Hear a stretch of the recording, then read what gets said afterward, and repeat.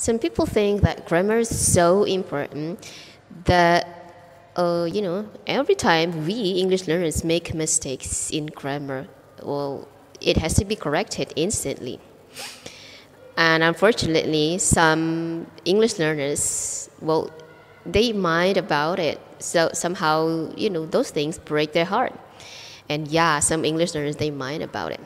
So how do we, English learners, deal with it? Deal with this problem? Well, here's my personal opinion. You know, I have been teaching English since 2003 until now.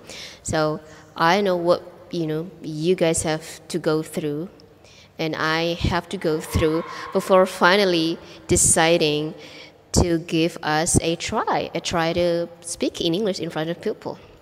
So sometimes it's not just about your English skill, your grammar, your vocabularies, your everything. Sometimes it's also about someone's mentality.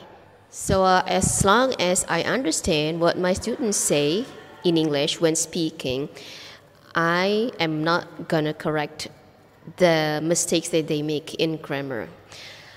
But if the mistakes in grammar they make, you know, uh, causes me to like have difficulties, a lot of difficulties to understand them, then I'm gonna correct the mistakes in their the grammar.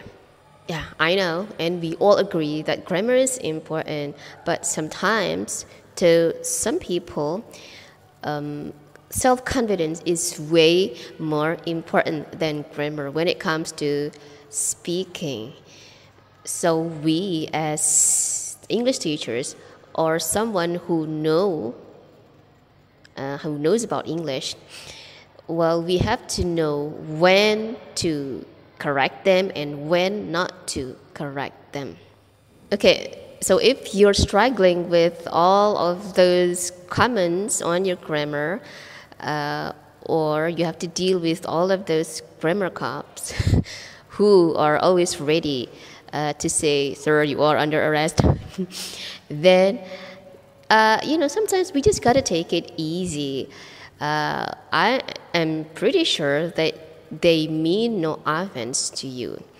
So yeah, they might be right so uh, you might wanna, you know, study about grammar better, and at the same time, you also have to, you know, keep practicing your English, and that's it. That's how we should deal with that thing.